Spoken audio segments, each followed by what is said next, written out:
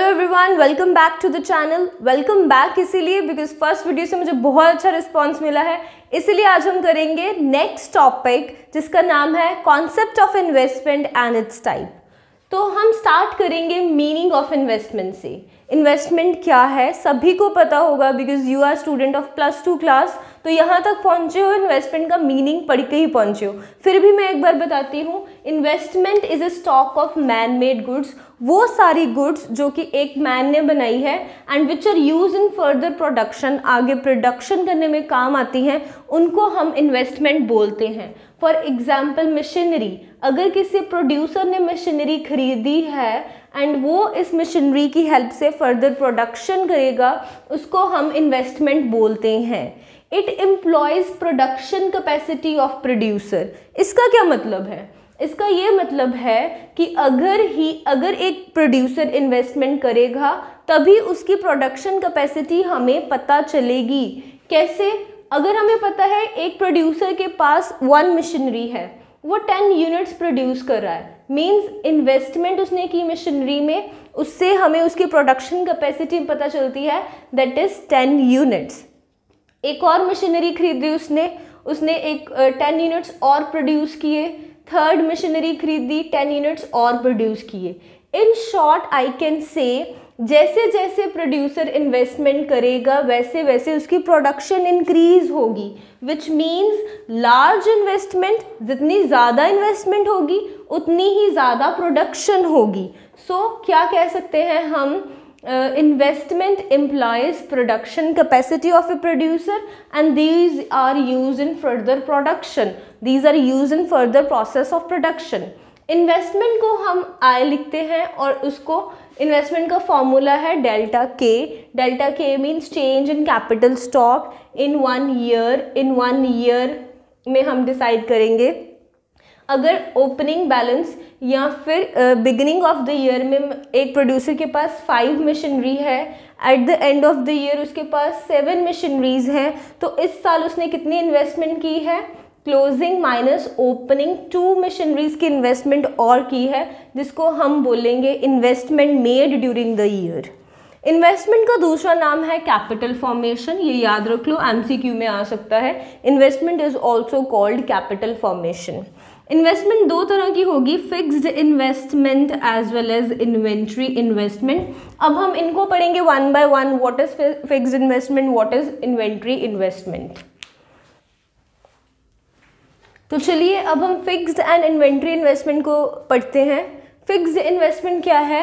It refers to increase in stock of fixed capital fixed capital या fixed assets का जब stock हमारे पास increase हो जाए, उसको हम फिक्स इन्वेस्टमेंट भी बोलते हैं। और जो भी खर्चा हम मशीनरी वगैरह को परचेज करने में करते हैं, उसको हम फिक्स्ड इन्वेस्टमेंट बोलते हैं। जिसका दूसरा नाम है फिक्स्ड कैपिटल फॉर्मेशन अभी मैंने आपको एग्जांपल दी थी कि पहले हमारे पास फाइव मशीनरीज थी, अब हमारे पास सेवन मशीनरीज हैं। दो मशीनरीज हमने और खरीदी हैं इस साल में, जिसका मतलब है इस साल की फिक्स्ड इन्वेस्टमेंट है टू मशीनरीज जिसके कारण फिक्स इन्वेस्टमेंट का एक ये ही बहुत अच्छा बेनिफिट है कि अगर हम ज़्यादा से ज़्यादा फिक्स्ड इन्वेस्टमेंट में इन्वेस्ट करेंगे, ज़्यादा से ज़्यादा मशीनरीज खरीदेंगे, हमारी जो प्रोडक्शन कैपेसिटी है वो इंक्रीज़ होगी।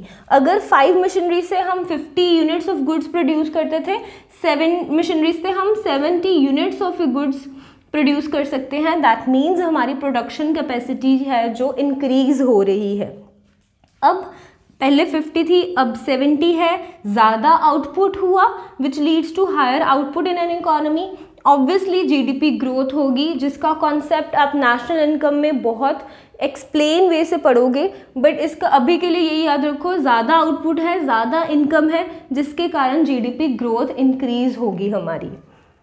सेकेंड टाइप आ गई हमारी इन्वेंट्री इन्वेस्टमेंट हमें पता है हर एक फैक्ट्री में तीन तरह की गुड्स होती हैं raw material semi finish goods और फिनिश्ड गुड्स सेमी फिनिश को हम वर्क इन प्रोग्रेस भी बोलते हैं. क्लास इलेवेंथ में आपने ये टर्मिनोलॉजी वाले चैप्टर में पढ़ा होगा कि इन्वेंट्री क्या है और इसके टाइप्स क्या हैं. जो भी खर्चा एक producer raw material semi finished और फिनिश गुड्स में करता है उसको हम इन्वेंट्री स्टॉक भी बोलते हैं।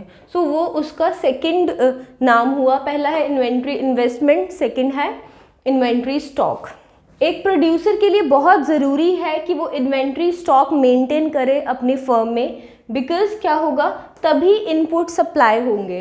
अगर उसके पास वुड है तभी वो फिनिश गुड्स टेबल बनेंगे। अगर वुड नहीं है तो वो टेबल भी नहीं बना पाएगा। सो so, इनपुट्स देगा तभी आउटपुट होंगे और तभी हमारी गुड्स की सप्लाई होगी। फिर क्या है? Second advantages avoid day to day purchases रोज़ जाके मार्केट में उसे गुड्स खरीदने की ज़रूरत नहीं है बिकॉज़ ऑलरेडी उसकी फैक्ट्री में एम्पल स्टॉक है। जैसे क्या है? उसके पास कोई ऑर्डर आया फर्नीचर बनाने का पहले क्या करेगा? मार्केट में जाएगा वुड खरीदेगा, फिर जाके फर्नीचर बनाएगा। जो, जिसके कारण प्रोडक्शन प्रोसेस डिले हो सकता है। अगर उसके पास पहले ही वुड होगा अपने स्टॉक में तो प्रोडक्शन जो प्रोसेस है इजीली हो पाएगा और जल्दी समय से होगा, जिसके कारण रेगुलर सप्लाई ऑफ़ गुड्स और टाइमली वो टेबल भी जो कि डिलीवर कर पाएगा अपने कस्टमर्स को। तो ये था हमारा fix investment and inventory investment I hope you people are clear with this concept अगर स्टिल कोई डाउट है, आप मेरे से पूछ सकते हो कमेंट्स बॉक्स में कमेंट करके। और अगर आपको ये वीडियो यूज़फुल लगी है काइंडली सब्सक्राइब माई चैनल और ज़्यादा से ज़्यादा अपने फ्रेंड्स के साथ शेयर करो ताकि वो सारे भी इस वीडियो का बेनिफिट उठा सकें। Thank you for watching this video